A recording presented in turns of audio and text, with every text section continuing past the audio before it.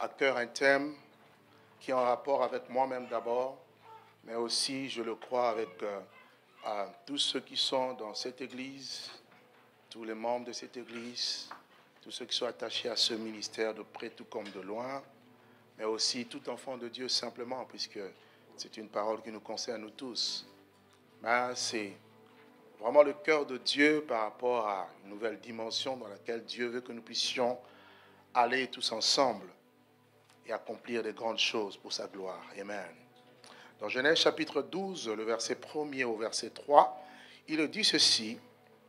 L'Éternel dit à Abraham, va-t'en de ton pays, de ta patrie et de la maison de ton père, dans le pays que je te montrerai. Je ferai de toi une grande nation, je te bénirai et je rendrai ton nom grand, et tu seras une source de bénédiction. Je bénirai ceux qui te béniront, et je maudirai ceux qui te maudiront. Et toutes les familles de la terre seront bénies en toi. Amen. Le thème de ma prédication ce matin s'intitule Je rendrai ton nom grand. Tu peux parler à ton frère de gauche, dis-lui, Dieu dit, je rendrai ton nom grand. Parle à celui de droite, dis-lui, Dieu dit, je rendrai ton nom grand. Parle à celui qui est derrière toi, dis-lui, Dieu dit, je rendrai ton nom grand. Ok, ceux qui sont derrière, ils n'ont personne. Bon, tu parles à toi-même. Amen. Un autre texte, c'est dans le livre de Luc, au chapitre 1er. Le verset 30 au verset 32.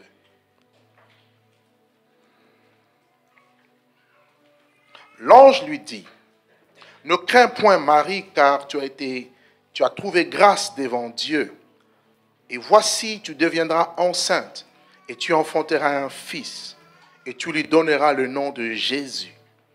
Il sera grand et sera appelé fils du Très-Haut. Le Seigneur Dieu lui donnera le trône de David, son père. Amen. Vous remarquerez dans la vie que tout le monde aspire à être grand. Tout le monde veut la grandeur. Tout le monde aspire au succès. Tout le monde, consciemment ou inconsciemment, veut être grand. Personne d'entre nous n'est créé ou n'a été conçu pour être petit, pour être limité, pour être euh, à un bas niveau. Chacun de nous, dès notre naissance, dès l'instant où nous existons, nous cherchons à aller à des stades beaucoup plus élevés que nous sommes aujourd'hui. Ce qui est tout à fait normal, tout à fait logique, parce que c'est Dieu qui a fait les choses ainsi. Dieu lui-même étant grand, tout ce qu'il crée est appelé à être grand. Amen. Dieu veut que tu passes de l'enfance à la maturité. Dieu veut que tu passes d'un état de faiblesse à un état de force. Dieu veut que tu passes d'un état de petitesse à un état de grandeur. C'est la pensée de Dieu et c'est la volonté de Dieu. Amen. Dieu veut que nous passions du néant ou encore de l'anonymat à la visibilité, à la manifestation. D'ailleurs, il est écrit que la création tout entière attend avec un ardent désir la révélation ou la manifestation des fils de Dieu. Donc, c'est la volonté de Dieu que nous devenions grands. Ce n'est pas du tout euh, mauvais ou démoniaque ou malsain mais cependant, la manière de le devenir, c'est là que nous voulons voir comment est-ce que Dieu fait. Parce qu'il a parlé à notre Père Abraham. Et tout ce qui concerne Abraham nous concerne, nous, enfants de Dieu, nous concerne, nous, peuple de Dieu, directement. Amen. Aspirer à la grandeur est une bonne chose. Aspirer à la grandeur est même la volonté de Dieu. Devenir grand, devenir glorieux, aller vers l'excellence. D'ailleurs, la définition même de la gloire, c'est le poids, c'est ce qui est de fort, de grand, de glorieux, de puissant, ce qui nous élève vers Dieu, d'excellence. Et une parenthèse, vous devez faire tout dans votre vie pour que votre vie devienne excellente. Il y a des gens qui aiment vivre dans la médiocrité et ce n'est pas normal. La médiocrité n'est pas de Dieu. La médiocrité, la pauvreté, la bassesse n'est pas la volonté de Dieu pour l'homme en général et pour l'enfant de Dieu en particulier. Si tu es un enfant de Dieu, sache que Dieu veut que tu vives l'excellence. N'est-ce pas qu'il est dit que Christ en nous, c'est l'espérance de la gloire. La gloire de Dieu doit être visible et manifeste au travers de ta vie. Amen. Amen, amen, amen. Dieu qui est le Tout-Puissant a marqué, il a mis comme un sceau dans le cœur de sa, de, sa créature que tu es, parce que l'homme est créé à l'image de Dieu. Si Dieu est grand, il ne peut que t'appeler à devenir grand. Tu ne peux pas être à l'image d'un grand Dieu et toi être et demeurer petit. Ce matin, Dieu veut changer ta conception de choses. Dieu veut changer ta perception des choses. Dieu veut changer ta manière dont tu vois les choses, tu considères les choses, pour que tu sortes de ta dimension, pour que tu ailles vers la dimension de Dieu. Alléluia. Y a-t-il quelqu'un qui veut être grand? Tu es sûr que tu veux être grand? Pas pour écraser les autres, pas pour marcher sur les autres. Non. Être grand pour avoir du poids et ressembler à ton Dieu pour que quand la créature te voit, dise Waouh Certainement, c'est la fille de l'Éternel. Certainement, c'est le Fils de Dieu. Il faut que l'enfant de Dieu marche avec assurance. Bien aimé, il arrive un temps où on doit quand même savoir que je suis un enfant de Dieu. Être un enfant de Dieu ne se démontre pas par des voitures, par des maisons, par de l'argent, mais c'est d'abord par mon identité. Je sais qui je suis, je ne suis pas n'importe qui. Amen. Parce que ton attitude déterminera ton altitude. Alléluia. Et Dieu, dans ce texte, va parler, va appeler un homme du nom d'Abraham. Le mot Abraham veut dire père élevé. Et Dieu va changer plus tard son nom d'Abraham à Abraham, père d'une multitude. Et pour comprendre un peu le contexte, cet homme vivait dans un environnement comme toi et moi, un environnement hostile à Dieu, un environnement où l'idolâtrie était la norme, un environnement où le système qui était calqué dans ce monde, c'était un système mauvais, un système qui emmenait les gens à s'éloigner de Dieu, à s'égarer. La tour de Babel venait d'être brisée par le Seigneur. Dieu avait confondu le langage des hommes. Et au milieu de cette confusion, Dieu appelle un homme. Dieu appelle une femme. Quand je parle d'un homme, je parle du genre humain. Dieu appelle Abraham pour que Abraham puisse devenir le label, le modèle, la marque déposée de toute une nation, de toute une génération qui devait venir après lui pour démontrer la grandeur et la suprématie de Dieu. Il faut que l'on sache qu'il y a un Dieu au travers de notre vie. La Bible dit il faut qu'il y ait la différence entre ceux qui craignent Dieu et ceux qui ne le craignent pas. Il faut qu'il y ait une différence entre le juste et le méchant. Et Dieu doit manifester cette différence-là. Et comment il fait? D'abord, il appelle Abraham. Il fut le seul à être appelé par Dieu.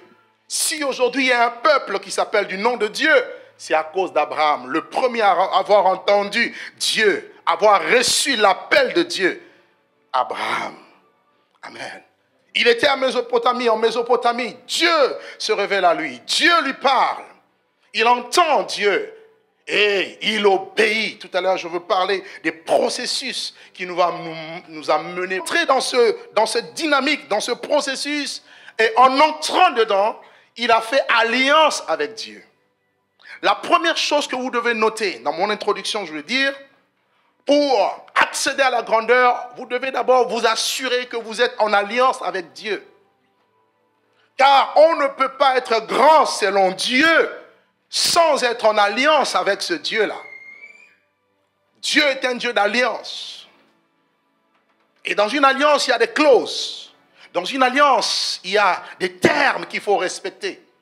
Et Selon l'écriture, Dieu reste fidèle aux clauses. Dieu reste fidèle à l'alliance. Donc si Dieu te parle, si Dieu t'appelle, si Dieu te veut pour quelque chose, crois-le, sache-le, qu'il ne te trahira jamais.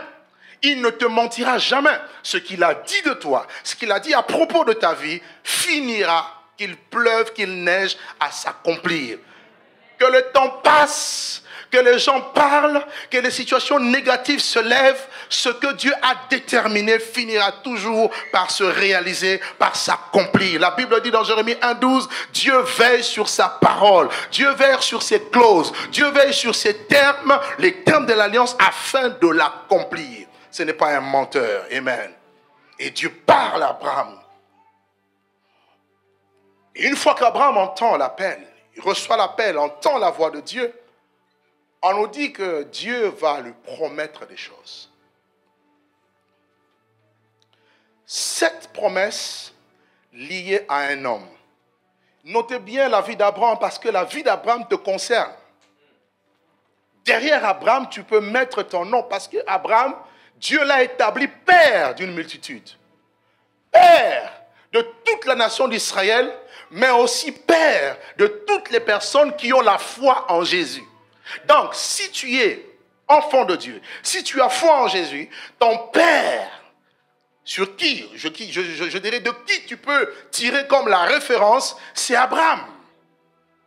Et ce que Dieu a fait avec Abraham, il veut le faire avec toi. Et c'est dans ton droit de réclamer ces choses. Tu as le droit de réclamer les choses dont je veux dire ici, ce que la Bible nous dit ici. Voici les sept promesses. La première promesse, Dieu lui dit, je ferai de toi une grande nation. Chacun de nous ici est appelé à être ou à devenir une grande nation. Dieu t'appelle seul, mais derrière toi, il y a une grande nation. Dieu a appelé Abraham seul, mais Dieu lui a dit, lève les yeux, Regarde les sables de la mer. Est-ce que tu peux le compter? Dieu lui dit, telle sera ta postérité. Et je veux dire à quelqu'un de la part de Dieu, tu as une postérité, tu as une descendance qui est semblable aux sables de la mer. C'est-à-dire, il y a une abondance dans ta postérité. Et Dieu lui dit, lève les yeux vers le ciel et regarde les étoiles. Est-ce que tu peux le compter? Il dit, non. Il dit, telle sera aussi ta descendance. La descendance terrestre, Israël physique et la descendance céleste, l'Église. Amen. Donc, tel que tu es, tu dois comprendre. Dieu m'a appelé seul. J'ai reçu l'appel de Dieu. Peut-être que euh, je, ne vois encore rien, mais en toi, comme Abraham était là, Dieu l'avait rendu stérile, plutôt avait rendu sa femme stérile. Mais il ne savait pas qu'en en, en, Ève, euh, plutôt en Sarah, se cachait toute une descendance qui, de qui allait être issu le Messie? Tu n'as aucune idée de ce que Dieu peut faire au travers de ta descendance. Tu n'as aucune idée des choses que Dieu peut accomplir au travers de toi. Et aujourd'hui, je j'aimerais te dire, arrête de te minimiser. Arrête de te sous-estimer. Arrête de penser que tu ne sers à rien. Tu as du prix aux yeux de Dieu parce que tu es en alliance. Dieu est un Dieu d'alliance. Vous savez, un homme peut oublier le terme de l'alliance, mais Dieu a tellement une mémoire qu'il n'oublie pas. Il y a même un livre de souvenirs. Si tu as oublié, lui va te rappeler l'alliance. Quelqu'un dit avec moi, je suis en alliance avec Dieu. Je veux devenir une grande nation. Tu peux le déclarer? C'est pour toi cette parole. Tu dois, tu es dans l'obligation de devenir une grande nation. Qu'on ne te dise pas que tu es stérile. Même si aujourd'hui tu as l'impression d'être stérile, la stérilité n'est pas dans le langage de Dieu. La stérilité n'est pas dans le dictionnaire de Dieu. Dieu dit il n'y aura pas de femme stérile au milieu de vous. C'est-à-dire la stérilité n'a pas le droit de siéger dans ta vie. Si tes études sont stériles, sache que tu es appelé à apporter du fruit au travers de tes études. Si dans ta vie, dans ta famille, il y a une forme de stérilité, les choses n'avancent pas, sache que Dieu ne t'appelle pas à rester au niveau où tu es. C'est peut-être le présent, mais tu ne sais pas ce que Dieu te réserve dans un avenir proche. Tu es appelé à devenir une grande nation. Quand Dieu appelle un homme, peut-être le jour où il reçoit l'appel, il est seul. Il ne sait pas ce que Dieu réserve après.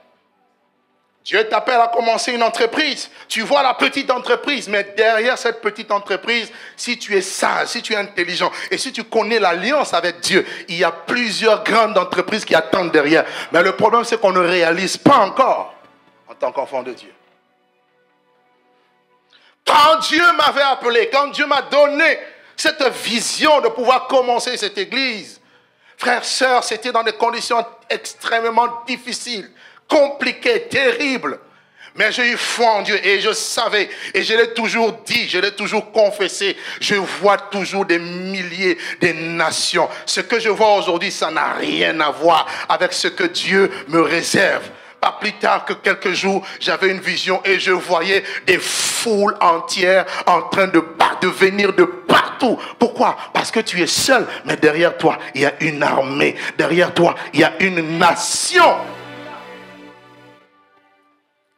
Je ferai de toi une grande nation. Deuxième chose que Dieu dit. Il dit, je te bénirai. Waouh Bien-aimé, j'ai l'habitude de dire que lorsque même Dieu décidait de mentir, ce qui sortira de sa bouche va devenir vérité. La Bible dit qu'il y a une chose que Dieu ne peut pas faire. Hébreu chapitre 6, verset 18. Il est impossible, dis avec moi impossible, que Dieu mente. Quelqu'un peut te faire une promesse, il n'arrive pas à réaliser, il peut te fuir. Ah, on a rendez-vous, je dois te remettre de l'argent, eh bien, il n'a pas l'argent, ben, il met son téléphone sur répondeur. Vous avez déjà connu ça? Il y a des gens qui me doivent. Quand tu appelles, votre correspondant n'est pas disponible. Mais quand Dieu fait la promesse, j'aimerais encourager quelqu'un ce matin. Quand Dieu te fait une promesse, quels que soient les temps, les circonstances, cela finira par se réaliser.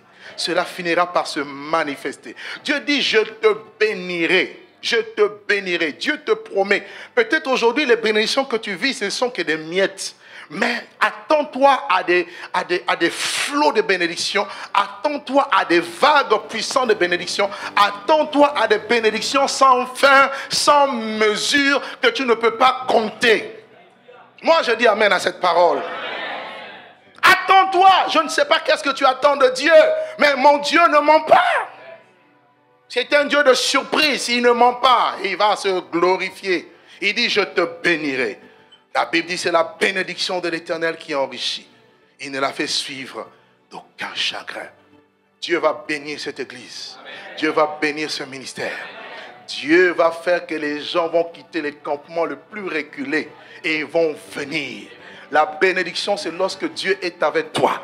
La bénédiction de Dieu, la bénédiction la plus suprême, avant d'être matérielle, c'est d'abord la présence de Dieu. Cette présence va s'intensifier. Et je vous assure, là où Dieu est, Dieu lui-même va parler. Vous savez, Dieu commande aux choses. Dieu commande aux hommes et Dieu commande aux objets. Là où il y a la bénédiction, Dieu appelle à l'existence les choses qui ne sont pas comme si elles étaient. Là où il y a la bénédiction, Dieu, il, ressuscite les choses qui étaient mortes. Oh, j'ai des projets qui sont morts. J'ai des, tout ce qui était mort, cassé. Tu as, tu as oublié. Tu as, tu as dit c'est fini. Dieu dit je veux ressusciter. Parce que la résurrection, c'est la puissance ultime. Plus que la puissance de la création. La création appelle à l'existence, mais la résurrection remet à la vie ceux qui étaient morts, cassés, détruits, brisés.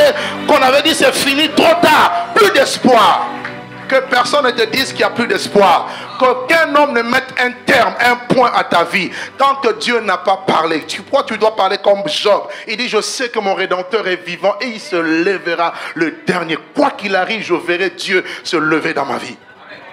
Nous allons voir Dieu se lever. Je dis nous allons voir que les sorciers combattent, qu'ils attaquent, qu'ils fassent des incantations, qu'ils envoient des infiltrés. Je vous assure, ils seront démasqués et ils vont fuir, mais le plan de Dieu va se réaliser. Qu'il envoie la maladie, Dieu va utiliser cette même maladie pour te guérir et amener un témoignage et confondre le royaume de Satan. Je suis venu te dire, Dieu te dit, il te bénira et reçoit la bénédiction de Dieu.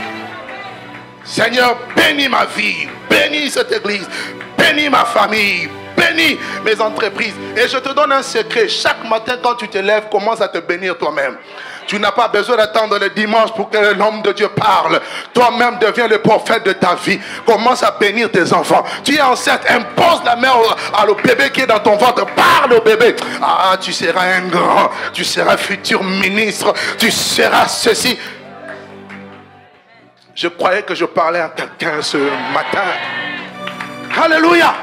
Parle Appelle les choses. Tu dis, ah, c'est compliqué. Appelle. J'ai testé, frère. J'ai. Oh, il y a des choses, on ne dit pas, c'est privé. Amen. Appelle. La parole est dans ta bouche et dans ton cœur. Appelle. Je te bénirai. Qui peut maudire celui que Dieu a béni? Qui? Même Balak a voulu maudire Israël. Balaam a dit non, je ne peux pas maudire un peuple que Dieu a béni. C'est un peuple qui s'élève comme une lionne. Qui peut l'arrêter? On ne peut pas t'arrêter. C'est pour ça que tu ressens des attaques. Parce qu'ils essaient par tous les moyens de t'intimider. Mais tu t'arrêtes pas. Quand tu te sens attaqué, c'est que tu es dans les bons. C'est que tu déranges. Est-ce que je peux parler à quelqu'un ici? Les attaques, c'est le signe qu'on jette les pierres sur un arbre qui a un fruit mûr. Mais on n'arrachera pas le fruit que je suis. On n'arrachera pas le fruit que j'ai. Ce que Dieu t'a donné, il t'a donné. Oh, même si les sauterelles sont venues manger, dévorer, Dieu dit, je vous remplacerai les temps, les années que la sauterelle a dévoré. Et mon peuple ne sera pas dans la confusion. La confusion ne sera pas dans ton langage et dans ton dictionnaire. Je refuse la confusion. Quand il y a un problème, je ne vois pas le problème. Je vois quelle solution Dieu veut donner dans le problème. C'est pour ça que notre vision de choses doit être différente. Parce que quand toi tu vois problème, d'autres voient solution. Que Dieu ouvre les yeux de quelqu'un. Alléluia. Alléluia. Parce que quand ta saison est finie dans quelque chose, quelque part, Dieu veut t'amener dans une autre saison. L'homme a tendance, l'homme n'aime pas les changements. Il a tendance à s'accrocher au passé. Alors que Dieu n'est pas un Dieu statique, c'est un Dieu de mouvement. Et Dieu bouge. Suis le mouvement de Dieu. Alléluia. Je te bénirai. Cette église est bénie. Ah, même si tu ne le crois pas, je le déclare, je suis le leader. Amen. Ah oui, ça va aller de... Ça va s'ouvrir. Je vous dis, je vous déclare. Et vous allez le voir. Amen. Ça va s'ouvrir.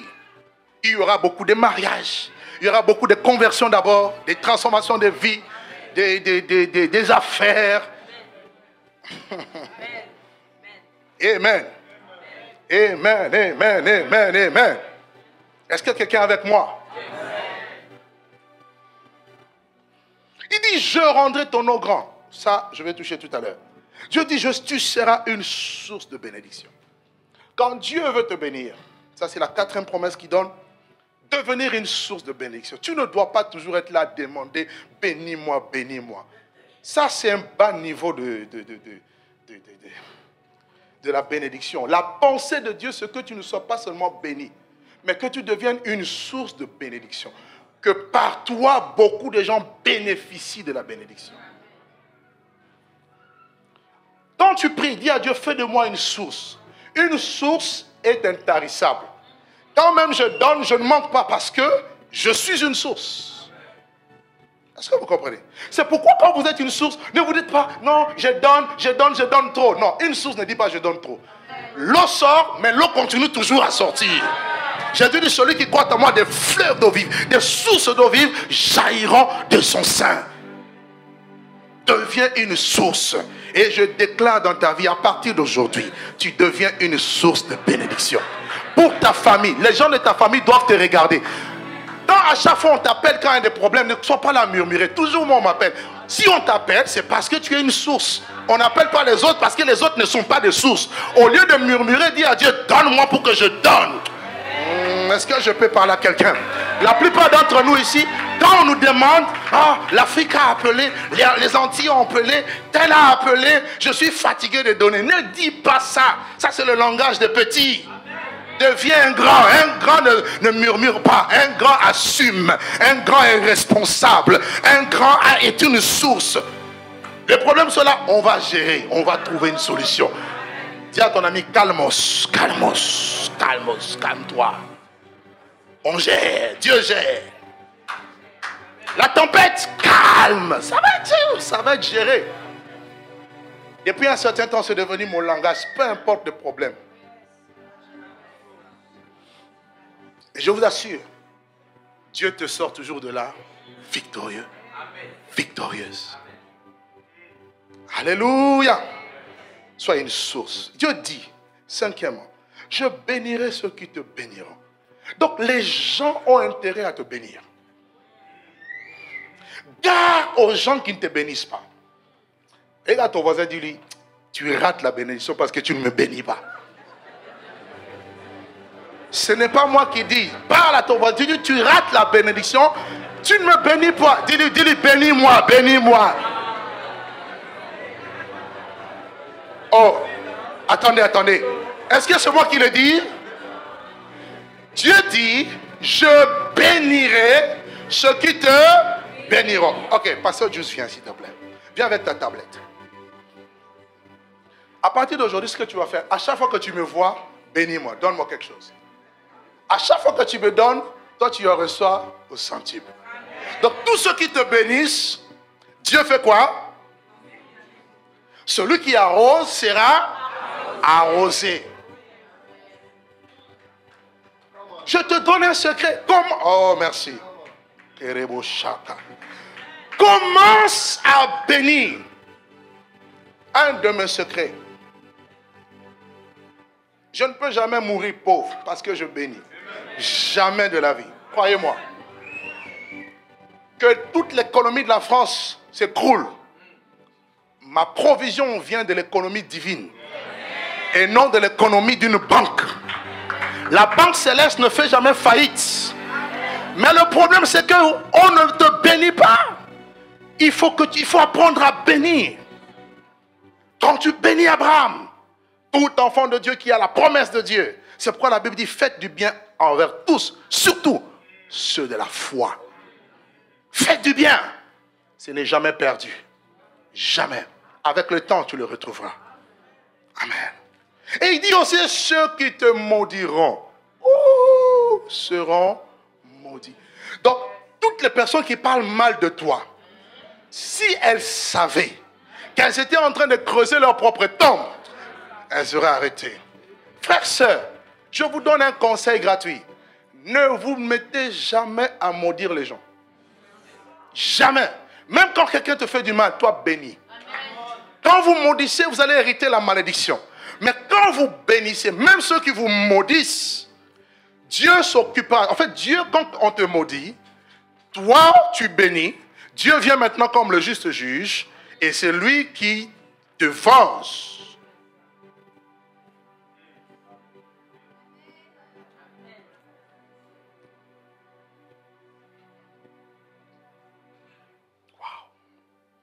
Et enfin, il dit, toutes les familles de la terre seront béni en toi.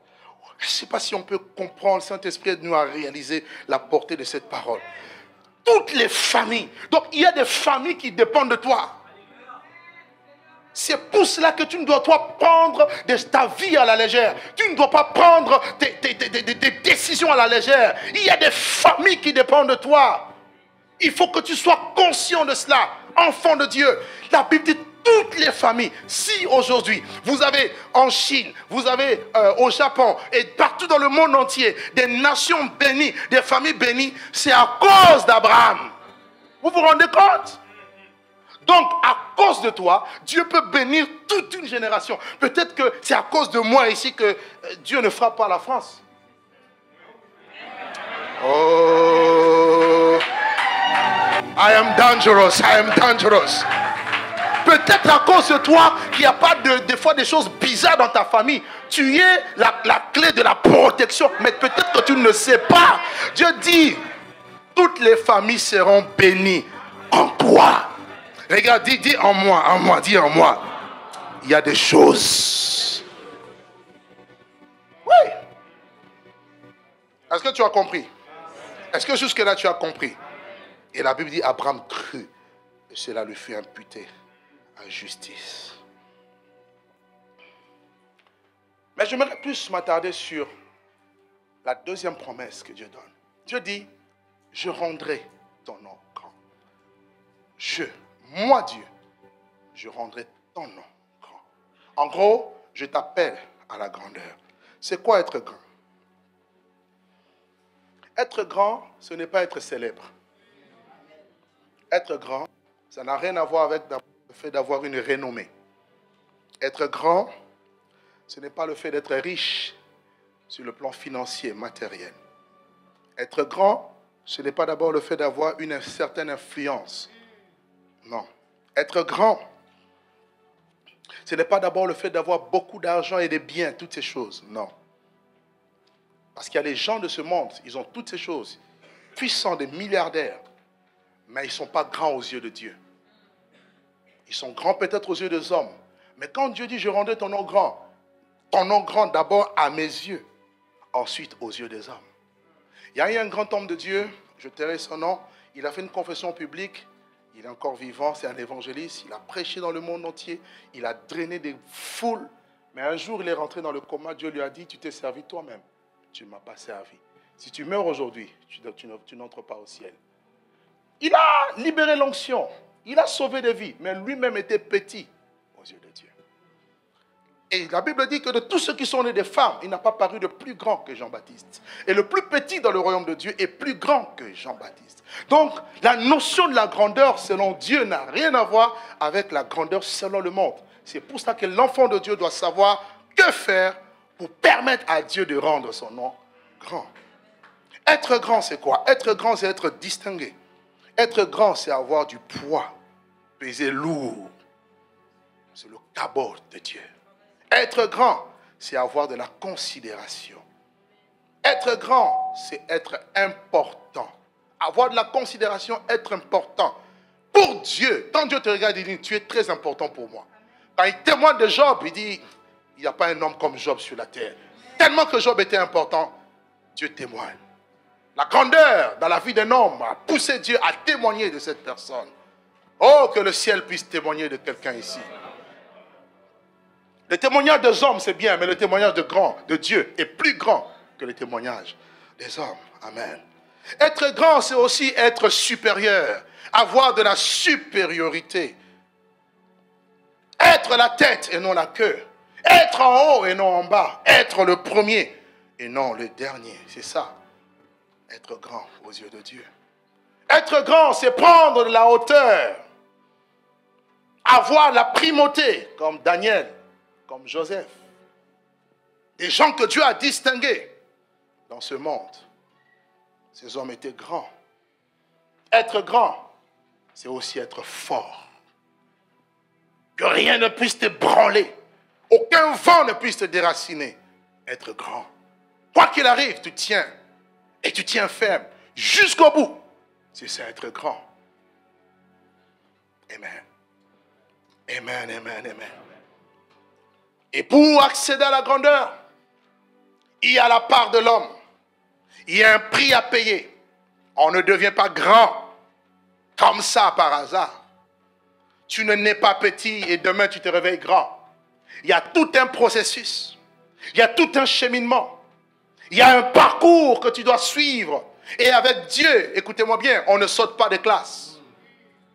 Tu ne peux pas sauter des classes. Tu ne peux pas violer la règle. Tu ne peux pas tricher avec Dieu. Tu passeras par ce chemin parce que tous, commençant par Abraham, ils sont passés par ce chemin. La Bible cite plusieurs hommes qui ont été grands. Et je retenu quatre d'entre eux. Et je me, je me suis appuyé sur ces quatre personnages pour tirer quelques leçons, pour parler de cette grandeur. Parlons d'Abraham, le père de la foi. Parlons de Moïse, un homme qui était fort patient un homme fidèle dans toute la maison de Dieu. Nul ne saurait s'égaler à Moïse. On nous parle de David, homme selon le cœur de Dieu. D'ailleurs, il est le plus grand roi de la terre. C'est la Bible qui le dit. Le plus grand roi de la terre, à part Christ, c'est David. Et enfin, Christ, le roi des rois, le Seigneur des seigneurs. Parlant de lui, on dira, il sera grand et c'est lui qui régnera sur le trône de David, son père. Alors, que faut-il faire? Quelles sont les clés pour permettre à Dieu de te, faire, de te rendre grand? Quatre points que j'ai notés rapidement. Le premier point, il y a besoin d'avoir une vie de soumission à Dieu. Notez ça, ça c'est une grande clé. Tu veux être grand Dieu va t'exiger la soumission. Et vous verrez que la grandeur n'est pas réservée à tout le monde. La grandeur, Dieu la réserve à ceux qui le servent.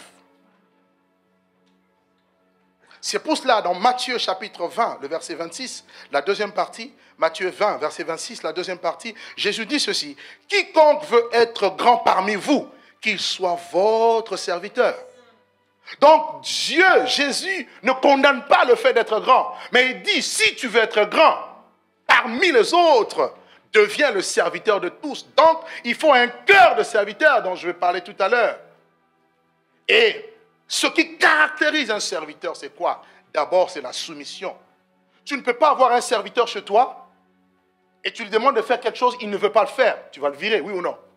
Alors, si tu es serviteur, servant de Dieu, tu dois te dire que la première des choses que Dieu m'exige, c'est ma soumission. La soumission à Dieu. Et nous voyons ça dans la vie d'Abraham. Abraham était un homme très soumis. Un homme dont la vie était caractérisée par la soumission. Il ne discutait pas, il, il, ne retardait même pas quand Dieu lui parlait. Il agissait aussitôt, il agissait tout de suite. Il était soumis à Dieu. La soumission est la clé. Genèse 12, verset 1. Dieu lui dit, quitte ton pays, quitte ta patrie, quitte la maison de ton père. Et Abraham obéit. Vous imaginez? On vient vous parler, Dieu vous parle. Vous devez lâcher ces choses. Dans cette soumission, J'entends quoi? J'entends un renoncement. Il y a des choses auxquelles tu dois renoncer. Tes priorités, tu dois, tu dois renoncer à tes priorités. À ta vie, tu dois renoncer à ta vie. Tu dois mourir à toi-même. Renoncer à certaines choses, certaines habitudes. Il était habitué à être dans un environnement. Dieu lui dit, quitte cela. Tous les grands de ce monde, je dis bien de ce monde, ont renoncé à des choses. À combien plus forte raison dans le royaume de Dieu tu ne peux pas être grand avec ton état. Non, Dieu t'appelle à la grandeur, mais il doit te transformer. Et le premier pas de la transformation passe par la soumission. Regarde ton voisin, dis-lui, la soumission. Dis-le-lui encore, la soumission. Oh, c'est un mot qu'on n'aime pas. Ah non, on n'aime pas. Dans la soumission, Dieu va te dépouiller. Dans la soumission, Dieu va enlever le vieil homme. Dans la soumission, Dieu va permettre que tu perdes des fois ta réputation. Dans la soumission, Dieu va permettre que tu perdes tes avantages, que tu perdes pied. Plus d'honneur, plus rien, plus d'argent. J'ai compris avec Dieu, tous ceux qui sont venus à Dieu, je dirais tous ceux qui étaient appelés à la grandeur, mais qui sont venus à Dieu tels qu'ils étaient, avec leurs compétences, leurs connaissances, leurs richesses, Dieu les a d'abord dépouillés avant de les enrichir. Dieu va te vider. Regarde ton voisin, regarde le souriant. Dieu va te vider.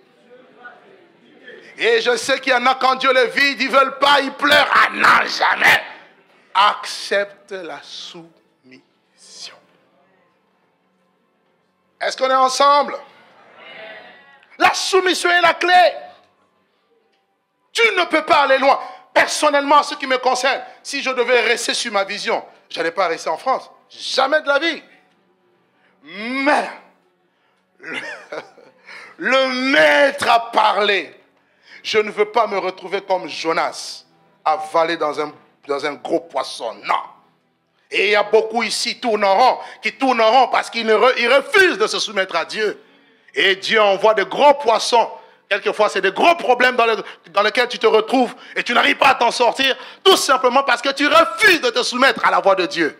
Tu refuses d'écouter Dieu. Ça, c'est d'ailleurs le deuxième point. Tu dois être soumis. Et la soumission va briser ta chair. Oh non, c'est la clé de la réussite. C'est la clé de la gloire. C'est la clé de l'élévation. La soumission est obligatoire même dans le moment de crise. Je ne me soumets pas quand, tout, quand ça m'arrange. Je me soumets à tout moment parce que Dieu veut que ça soit ainsi. Le chemin de la grandeur, tu ne le connais pas. Dieu seul connaît le chemin. Alors, soumets-toi à Dieu. Alléluia. Abraham a oublié sa vie. Il a oublié son père, sa mère, son environnement. Et il a dit, je vais obéir à Dieu et je vais partir. Ça, c'est la première clé. Amen. La soumission te protégera contre les ennemis. Toute personne qui est soumise, n'est-ce pas, reste sous l'abri ou la protection de son autorité spirituelle. La soumission te permet, te permet de, de rester sous l'ombre de Dieu. N'est-ce pas qu'il a dit que celui qui habite, qui demeure sous l'abri du Très-Haut, repose à l'ombre du Tout-Puissant? L'ennemi ne te surprendra pas, le malheur ne t'atteindra pas aussi facilement. Pourquoi? Parce que tu es sous la couverture de Dieu. Mais il faut se soumettre à Dieu, à sa parole, à son esprit. Il faut se soumettre aussi aux parents. regarde ton voisin, dis soumets-toi aux parents. Il y en a qui ne parlent pas. Ne parlez pas pourquoi. Peut-être vous êtes insoumis. Il n'y a pas la France insoumise ici. Dans la foi, on se soumet. Dis à ton voisin, soumets-toi à tes parents. Ah, ils sont dépassés. La daronne, le daron. Ah, le langage des jeunes aujourd'hui. On ne veut pas écouter les parents. La Bible dit honore ton père et ta mère afin que tu sois heureux. N'est-ce pas? Et que tu vives longtemps. Et que tu prospères dans le pays que l'Éternel, ton Dieu, te donne. Il y en a qui vont jamais arriver à la grandeur parce qu'ils sont insoumis. Si Dieu t'élève avec ton sale caractère, oulala, là là là, on va tous fuir. Sois soumis. On, est soumis aux parents biologiques, on est soumis aux parents spirituels. Il y a aussi un esprit d'indépendance spirituelle aujourd'hui. On est soumis à personne que le Saint-Esprit. Le Saint-Esprit qui a inspiré la parole dit, soumettez vos autorités, lui dit, je suis soumis à personne qu'au Saint-Esprit escroc spirituel.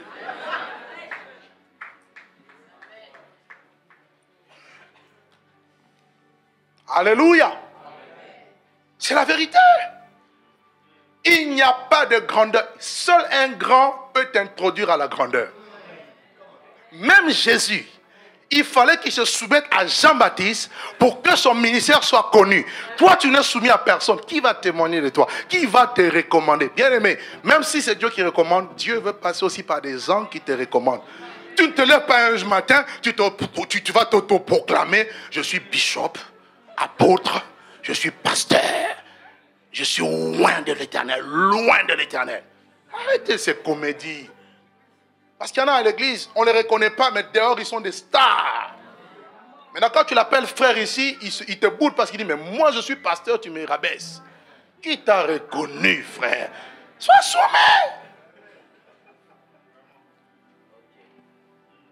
Amen. Qui veut être grand? Frère. La grandeur ne brûle pas des étapes. Attends qu'on reconnaisse que maintenant tu as la majorité. La soumission aux autorités civiles. On ne viole pas les règles, on ne viole pas les lois. C'est aussi important. La soumission est très importante, c'est le secret. Quelqu'un qui est soumis, c'est quelqu'un qui est fort, mais sa force est cachée.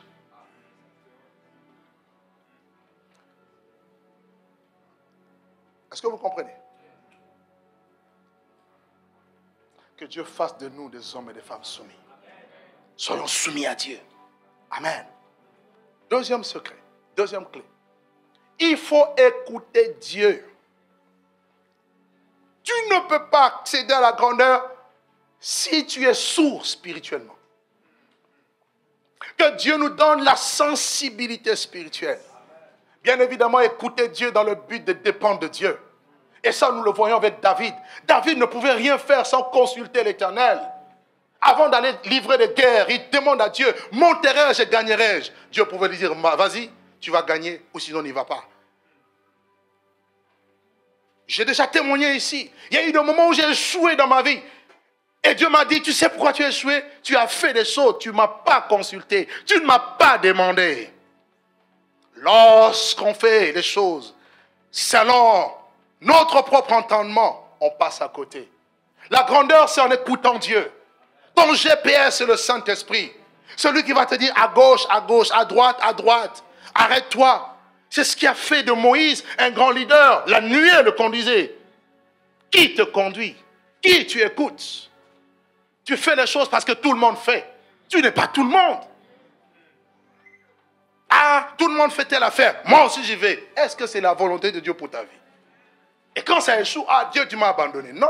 Est-ce que je t'avais envoyé pour que je t'abandonne? Il ne t'abandonne pas dans ce qu'il t'a demandé de faire. Alléluia. Nous autres là, on abandonne ce qu'on fait, on va faire comme tout le monde. Je vous assure, je vais échouer, mais lamentablement. Qu'est-ce que Dieu te dit? Tu dois savoir écouter Dieu, être sensible à Dieu. Écoutez comme écoutent les disciples. Dans Isaïe 50, on nous dit que l'Éternel a éveillé mon oreille. Il éveille mon oreille chaque matin pour que je sache écouter comme écoutent les disciples. Un disciple, c'est un, élève, un apprenti. Nous sommes tous apprentis. Nous ne connaissons pas tous le chemin, toujours le chemin. Et Dieu dit quoi? Je t'instruirai et je te montrerai la voie que tu dois suivre. Quand tu pries, dis à Dieu, parle-moi. Qu'est-ce que tu veux que je fasse? Comment veux-tu orienter ma vie? Comment veux-tu que mes affaires soient orientées? Comment veux-tu que mon couple soit orienté? Comment veux-tu que l'église soit orientée? Comment veux-tu que ceci ou cela soit orienté? Dieu te dira. Il mettra une conviction dans ton cœur. Il te parlera et écoute la voix de Dieu. Car il est impossible d'échouer lorsqu'on écoute Dieu. À chaque fois que nous échouons, laissez-moi vous dire, c'est parce qu'on n'écoute pas Dieu. Amen. Amen. Nous avons trop de programmes. Nous avons déjà des plannings, des choses bien, organisées. Je fais ça, après je fais ça, mais on ne consulte pas Dieu. Voilà pourquoi des fois ça échoue. Confie ta vie à Dieu et qu'il te parle. Amen. J'ai décidé d'écouter Dieu dans tout. Je ne fais plus de choses juste pour faire. Non. Je ne fais plus de choses parce qu'il faut faire. Non. Est-ce que c'est la volonté de Dieu? Car la plupart d'entre nous, nous faisons des choses pour prouver aux autres. Il y en a qui se marient pour, parce que l'autre s'est marié. Ah, l'autre s'est marié, moi aussi je dois prouver que... Ah bon? Tu vas te marier avec un sorcier ou une sorcière. Tu m'entends? Ne prouve pas. Il y en a, ils ont un ministère. Dieu ne leur a pas demandé de commencer l'église. Ils commencent. Mais avec quel mandat? Quand ça chauffe, j'ai le droit de venir devant celui qui m'a établi. Écoute, c'est ton travail. Agis. Et je peux vous assurer, il agit. Parce qu'il celui qui m'a mis là. Des fois, j'ai envie de fuir. Nous, on veut fuir, d'autres veulent entrer. Allez-y. Mais sans Dieu, tu vas échouer, mon gars. Ce n'est pas l'expérience. Oh, j'ai trop d'expérience. Ah bon? Vas-y. Alléluia. Alléluia. Je me rappelle à l'époque, quand je voulais me marier, tout le monde est venu me voir, mais tu es trop jeune, tu ne peux pas te marier. Il dit, ça vous regarde? Est-ce que c'est votre problème? C'était la femme de ma décision. J'étais déjà pasteur et je commençais à avoir trop de visions dans l'église. Vous savez, quand vous êtes pasteur célibataire, vraiment, ce n'est pas facile. Des sœurs, ah, pasteur, je t'ai vu, j'étais en costume, tu me mettais une bague. J'ai dit, Jésus de Nazareth, même pas en rêve, je, je pourrais accepter. Mais bon, il ne faut pas blesser les âmes faibles.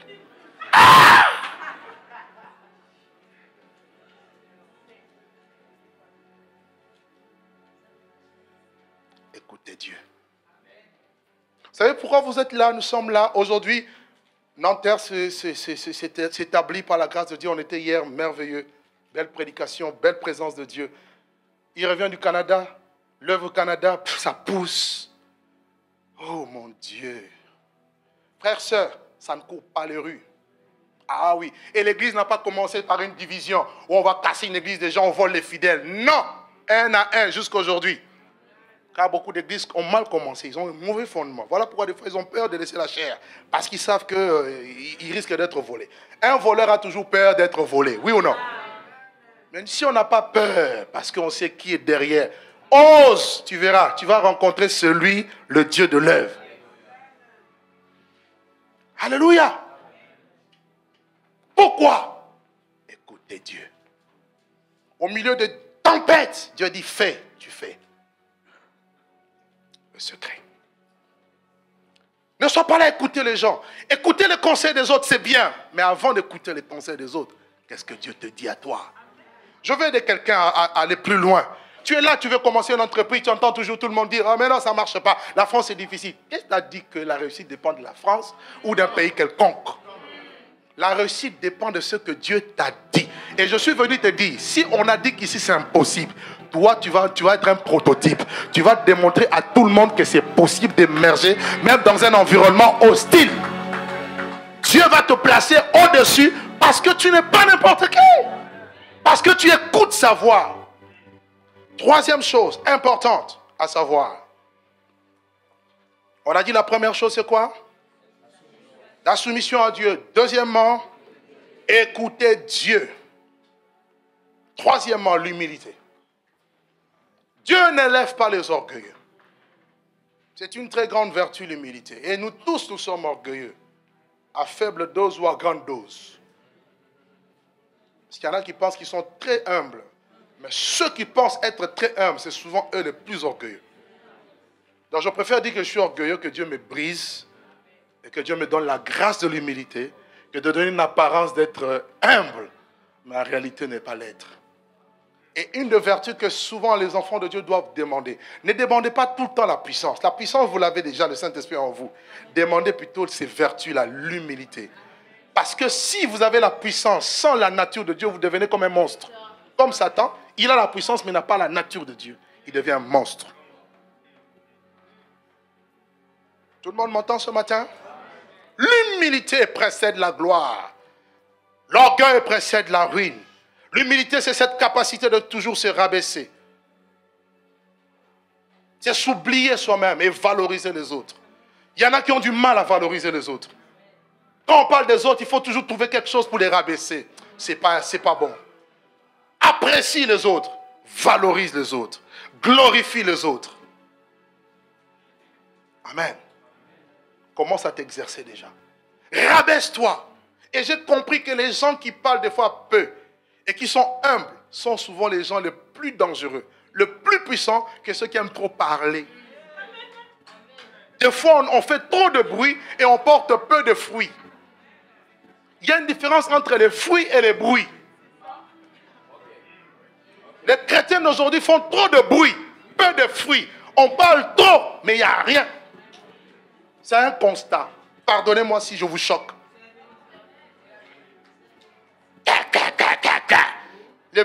Un des démons de la francophonie. On parle trop, rien. En action, zéro, parole. Que Dieu te délivre de cette folie. Tu as un projet, tu n'as même pas encore commencé le projet. Tu parles déjà, je vais devenir millionnaire. Tais-toi, travaille. Quand ça va aboutir, on va voir. Laisse-nous voir, constater par les fruits, plutôt que de trop parler et puis après dire, j'ai été attaqué par des sorciers. Mon frère, ceux qui réussissent, ils ont aussi des sorciers dans leur famille. Sois délivré ce matin au nom de Jésus.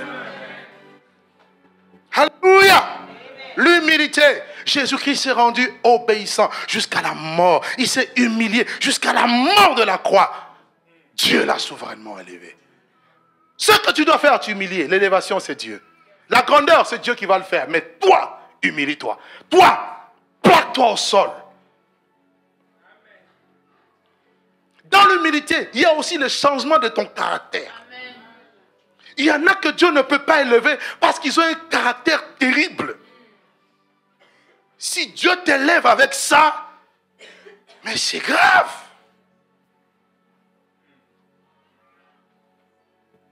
Donc, qu'est-ce que Dieu veut faire? Il veut d'abord briser ton caractère. Alors ah, tu dis pas Amen. Notre caractère. Bien aimé, j'ai découvert ça. Plus je travaille sur moi, plus Dieu me fait grâce. Des choses que je ne demande même pas. Mais avant, je demandais beaucoup sans travailler sur moi. Voilà l'erreur. Au lieu de demander la grandeur, enracine-toi. Plus tu es profond, plus tu es enraciné, plus tu vas te lever au-dessus. Parce que plus tu montes, plus il y a le vent. Et si tu n'es pas enraciné, le vent va te balayer. Frère, sœur, l'humilité. L'humilité, c'est quand tu descends. Toi, descends pour que Dieu t'élève. Celui qui s'élève, Dieu le rabaisse. Celui qui se rabaisse, qu'est-ce que Dieu fait? Dieu l'élève. Voilà le secret. Laisse Dieu te tailler. Laisse Dieu te briser. Le brisement. Oh frère, ça fait mal. Dieu va t'apprendre la patience. On nous dit que Moïse était un homme très patient. Vous savez, c'est quoi la patience? Dieu te fait des promesses. Tu attends 25 ans comme, comme, comme Abraham. Parmi nous, des fois, quand on attend 2 ans, 3 ans, on perd patience. Il a attendu 25 ans. Combien de temps as-tu déjà attendu? Ça fait partie de l'humilité. L'humilité est patiente. Amen. Amen, amen. Oh, aujourd'hui, je commence à vivre quelques, quelques accomplissements des prophéties reçues il y a aujourd'hui 18 ans. Mais toi, tu n'as à peine 2 ans, 3 ans. Tu ne veux plus supporter. Humble. Regarde ton voisin, dis-lui sois humble, ma soeur. Dis-lui sois humble, mon frère. Humiliez-vous sous la main puissante de Dieu afin qu'il vous élève au temps convenable. Il y a un temps où Dieu va t'amener à la grandeur. Et quand on parle de la grandeur, ce n'est pas tout de suite, maintenant même. Non. Oh Seigneur, je vais devenir grand aujourd'hui même. Non. Processus. Alors, commence maintenant à voir où est-ce que tu te situes. Si tu n'es pas humble, commence à demander à Dieu, rends-moi humble. Et Dieu va maintenant permettre des situations où ton caractère veut sortir. Quand ça veut sortir, tu dis, oh, aide-moi. Tu veux te fâcher, tu dis, oh Jésus. À l'époque, j'étais trop impulsif. Quand même un enfant voulait réagir, je criais. Et puis j'ai appris quelque chose. Quand l'enfant veut que je dise Ah Rambo Shaka Shaka. Vous avez compris, non? La nature humaine veut sortir et puis la nature divine me rattrape et dit Calmos. Parce que Dieu va utiliser des gens quelquefois que tu n'aimes pas pour te briser. Ah oui. C'est pourquoi l'église, il y en a qui veulent fuir l'église parce que oh non, tel se comporte mal, tel a mal, parlé de moi, tel m'a mal regardé, tel ceci. En fait, c'est ton brisement. Ça montre que tu es encore vivant, tu n'es pas mort. Quelqu'un qui est mort ne réagit pas. Et Dieu ne ressuscite que des morts. Bon, tu n'as pas bien compris. Tu ne peux pas parler de la puissance de la résurrection si tu n'es pas mort. Nous tous, il y, a des, il y a des domaines où on n'est pas mort. Dieu va permettre, et puis ça fait mal, et puis ah, tu as envie de réagir. Et quand c'est comme ça, dit, oh Seigneur, j'ai mal réagi, pardon. Aide-moi à tuer ça. Plus tu meurs, la Bible dit quoi? Si un gré de blé qui tombe, ma mère ne meurt, il reste seul. Mais s'il meurt, il portera beaucoup de fruits. Est-ce que tout le monde est d'accord avec moi? Et le dernier point, et je finis là, c'est le service. Ésaïe 52, verset 13 au verset 15. Dieu dit, voici mon serviteur prospérera, il montera, il se levera, il se levera bien haut. Vous voulez que Dieu vous amène à la grandeur, ayez un cœur de serviteur. N'utilisez pas, ne vous servez pas de Dieu, mais servez Dieu. Beaucoup de gens aujourd'hui se servent de Dieu. Je me sers de Dieu pour atteindre ça, pour atteindre tel objectif, pour être connu, pour être vu. Des fois, je, je m'assois à la maison, je dis, bon, quelles sont tes motivations, Douglas? Pourquoi tu fais ce que tu fais? C'est important des fois de s'examiner pour voir si vous êtes dans le bon ou pas. Parce qu'on peut juste faire les choses pour faire, pour paraître, alors qu'on n'est pas. Pourquoi tu fais ce que tu fais? Es-tu serviteur de Dieu? Est-ce que tu sers Dieu? Dieu ne lève pas ceux qui se servent eux-mêmes. Pourquoi dans le monde, il y a deux esprits qu'on sert? Il n'y a pas trois, il y a deux. Il y a maman, il y a Dieu. Matthieu 6, verset 24. Jésus dit, Nul ne peut servir deux maîtres à la fois. Ou il aimera l'un, haïra l'autre, ou s'attachera à l'un, méprisera l'autre. Vous ne pouvez servir Dieu et maman. Donc chacun d'entre nous est serviteur. Mais serviteur de qui? Quel maître? Là est la question. Est-ce que je sers maman ou est-ce que je sers Dieu? Et comment servir Dieu Si jamais je vais servir Dieu, premièrement, c'est dans l'adoration. Alléluia. L'adoration te fait monter vers Dieu. Et plus tu adores Dieu, plus Dieu t'élève. La plus grande élévation, ce n'est pas d'abord quand dans la vie tu es levé. Parce que beaucoup de gens, c'est quand Dieu les élève dans la vie, Dieu les bénit dans la vie, c'est là qu'ils tombent. On le voit même avec les rois. C'est au moment où ils ont eu des bénédictions, des fortes bénédictions, c'est là où il y a eu le déclin. Que Dieu me garde de tomber à cause de ce qu'il peut me donner. Il y en a qui ont eu des bénédictions, beaucoup d'argent, beaucoup de grâce. Ils ont perdu l'essentiel. Reste un adorateur, quoi qu'il arrive. Adore Dieu en esprit, en vérité. C'était le secret d'Abraham. Partout Abraham passait, il bâtissait des hôtels. Pourquoi? Toujours se souvenir de ce Dieu qu'il avait sorti. Amen. Et une alliance avec Dieu, quoi qu'il arrive. Aujourd'hui, tu es sûr que si Dieu te donne ce dont ton cœur désire, tu l'aimeras et tu le serviras comme tu l'as aimé au début. La plupart d'entre nous aujourd'hui, je le vois, n'aiment plus Dieu comme au début à cause des peu que Dieu donne. Mais qu'est-ce qui vous... En fait, vous montrez à Dieu que non, tu ne peux pas me donner plus parce que je ne pourrai pas gérer. Mais des gens qui sont grands, plus Dieu les élève, plus Dieu les bénit, plus ils s'humilient, plus ils reconnaissent que tout n'est que grâce. Et je ne mérite rien. Et ils ramènent tout à Dieu, comme les 24 veillards devant le trône. Ils se procèdent et jettent leur couronne. Jetons nos couronnes, nos honneurs, jetons toutes ces choses et donnons la révérence, donnons la gloire à Dieu. Servons l'éternel de tout notre cœur. Aujourd'hui, beaucoup d'enfants de Dieu n'ont plus le cœur pour Dieu. Notre cœur est partagé entre le monde, entre les plaisirs du monde, les choses du monde avec Dieu. Et je vous dis ces choses, ce que Dieu m'a montré, m'a révélé, et le cœur de Dieu saigne. Il veut te rendre grand, mais il se demande, le jour où je te rendrai grand, le jour où tu auras la renommée, le jour où je ferai ce que ton cœur désire, m'aimeras-tu comme au premier jour? Il dit à Israël, je me rappelle de ton amour quand tu étais jeune, quand tu me suivais dans le désert. Quand tu n'aimes quelqu'un, tu le suis partout. Mais tu ne suis plus partout parce que tu n'aimes plus beaucoup. Est-ce que je continuerai malgré le succès, malgré euh, les connexions, malgré les bénédictions que Dieu me donne Je continuerai à être toujours un enfant aux yeux de Dieu. Je me prosternerai toujours devant Dieu. Ça, ce sont des grandes questions, frères, que chacun de nous doit se poser. Parce que c'est un jeu d'enfant pour Dieu. Il y a des gens dans la Bible, ils sont dormis pauvres, ils se sont réveillés riches. Dieu peut tout. Rien ne est impossible. Mais Dieu se demande, si je te donne, si je t'élève, si je te rends grand, est-ce que tu seras toujours reconnaissant? Dans Deutéronome 8, il dit, souviens-toi,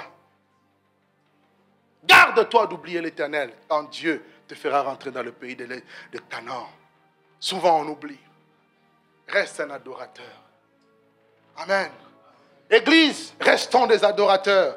Restons des passionnés de Jésus. N'aimons pas les dons spirituels plus que Jésus. N'aimons pas les bénédictions plus que Jésus. Les bénédictions en réalité ne sont pas une destination. C'est un accompagnateur. Ce sont des accompagnateurs. Mais notre destination, c'est Christ. C'est le ciel. C'est la nouvelle Jérusalem. Amen. Dieu me donne des diplômes. Gloire à Dieu. Mais ma priorité, c'est le royaume de Dieu. Quelqu'un est béni ce matin? Est-ce que quelqu'un est béni ce matin? Dieu dit, je rendrai ton nom grand. Mais est-ce que ton cœur restera toujours attaché à moi? Le dimanche dernier, Dieu m'a mis à cœur de parler sur un thème, retrouve ton premier amour. Je pouvais voir en esprit comment le cœur des gens, à cause de la grâce, de la faveur, de la bénédiction, des, richesses, de matériel, ces mêmes personnes qui n'étaient rien, Dieu leur a donné du poids. Dieu te fait connaître aujourd'hui. Et après, Dieu devient secondaire. Que Dieu me garde vraiment. Amen. Les temps sont mauvais, il y a trop de pression, il y a trop de choses. Est-ce que tu seras toujours fidèle? Tu resteras un adorateur chez toi. Oh, je n'ai plus le temps, j'ai trop de business. Ah bon? Deuxièmement, est-ce que tu serviras ton prochain? Est-ce que tu serviras Dieu? Dans un département, dans un ministère dans quelque chose, dans un fardeau que Dieu dépose dans ton cœur. Aller prêcher à gauche, à droite, faire ces choses. Est-ce que tu resteras fidèle à ces choses? Est-ce que tu serviras l'homme? Il y a un homme de Dieu que j'ai connu il y a quelques années, simple. J'ai vu aujourd'hui, il commence à être tellement sollicité. Il perd même le sens d'amitié, de relation. Pourquoi? Cause de la richesse de ce que Dieu donne. Frère, tu peux monter. N'oublie jamais que l'homme a plus de valeur que l'argent, que les biens. On ne peut pas t'acheter avec de l'argent. Tu vaux plus que de l'argent, plus que de l'or. Amen. Continue, continueras-tu à servir, à aller chercher les âmes perdues? Aujourd'hui, parce que tout le monde court après la possession. On n'a plus le temps pour le fardeau de Dieu, les âmes perdues. On n'a plus le temps. On le dit, mais on ne le fait pas. Ça, c'est ce que Dieu m'a dit de nous dire. Il veut rendre ton nom grand. Est-ce que tu continueras à l'aimer? Lui seul. Alléluia. Et quand tu es serviteur de Dieu, Dieu te garantit, il dit, mon serviteur prospérera. Il te garantit. Restez attaché à Dieu, vous allez prospérer. Même si autour de toi, tu, vois des gens qui ne sont pas attachés à Dieu, avance. Leur prospérité éphémère. Regardez-nous, nous sommes des vrais hommes prospères. Dieu n'a jamais failli. David a dit, j'étais jeune, j'ai vieilli, je n'ai pas vu un juste abandonné, ni sa postérité mendiant son pain. Reste fidèle à ce Dieu-là. Attache-toi à ce Dieu-là. Amen. Et il dit, mon serviteur montera. Dieu va te faire monter. Quand tu restes fidèle, tu restes avec ce cœur de, de serviteur, Dieu te dit, tu vas monter. Il va te faire monter. Je vois quelqu'un ici que Dieu veut faire monter. Monter, c'est-à-dire te prendre du bas pour t'amener vers le haut. Du fumier, il retire le pauvre. De la poussière, l'indigent, il les fait asseoir avec les grands de son peuple. Et il dit enfin, il se levera bien haut. Tu leveras ta tête au-dessus. C'est la fin qui compte, pas le commencement. Aujourd'hui, c'est aujourd'hui, mais demain, on saura vraiment qui était serviteur et qui ne l'était pas. Amen. Dieu va couronner les hommes et les femmes. Je prie que tu sois sur la liste de ceux qui seront couronnés en ce jour-là qui diront, bon, Dieu dira, bon et fidèle serviteur, entre dans la joie de ton maître. Sois dans la liste de ceux qui diront, oui, j'ai combattu le bon combat, j'ai achevé la course et j'ai gardé la foi. Alléluia. Alléluia. Ma prière est que chacun de nous puisse devenir serviteur de Dieu et le cœur de serviteur. Amen. Tout passera. Tout ce que vous voyez, tout ce qui brille là, ça passera. Ça passera. Tout. Mais celui qui sert Dieu, son élévation sera éternelle. Vous avez un exemple, le serviteur parfait, c'est Christ. La Bible dit s'est humilié jusqu'à la mort, jusqu'à la mort de la croix. C'est pour ça aussi, Dieu l'a souverainement élevé. Il a fait quoi? Il lui a donné le nom qui est élevé au-dessus. Quand il dit je rendais ton nom grand, le nom qui est élevé au-dessus de tout le nom, afin qu'au nom de Jésus, tous genoux fléchissent dans les cieux, sur la terre et sous la terre. Et que toute langue confesse que Jésus est Seigneur à la gloire de Dieu le Père. Dieu témoignera de toi. Les hommes aussi témoigneront de toi.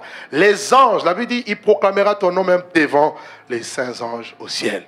Que cela soit ta part à partir de maintenant jusque dans l'éternité au nom puissant de Jésus-Christ. Ne réunis pas ta foi. Ne regarde pas en arrière. Ne regarde pas l'environnement. Regarde à Dieu qui t'a appelé comme Abraham.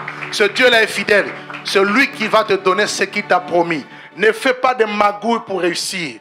N'entre pas dans la compromission pour pouvoir avoir, posséder. Ce Dieu-là est fidèle, je vous le garantis. Il a béni beaucoup, il le fera aussi avec toi. Il te levera, il fera la distinction. Vous qui allez en enterre, il va faire la distinction. Cette œuvre va prospérer, elle va grandir, elle va aller à une vitesse vertigineuse. D'ailleurs, l'Esprit de Dieu m'a convaincu, il faudrait qu'avant la fin de cette année, nous quittions ici. Nous quittions ici. C'est vraiment une conviction. OK? On va voir comment Dieu va nous aider. Vraiment, nous, allons, tout faire. Parce que j'ai vu des milliers d'âmes. Dieu m'a dit, ils vont aller où? C'est ce que Dieu m'a dit. Amen. Et j'ai confiance dans ce Dieu qui m'a parlé. Alléluia. Alléluia. Alors j'ai aussi une bonne nouvelle. Dieu m'a dit, c'est toi qui seras le premier financier de ce bâtiment.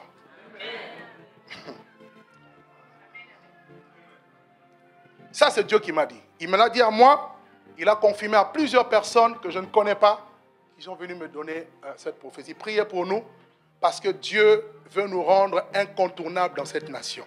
Ça, c'est une parole prophétique. Que Dieu vous bénisse abondamment au nom puissant de Jésus-Christ de Nazareth. Alléluia. Que ta présence en moi devienne réelle.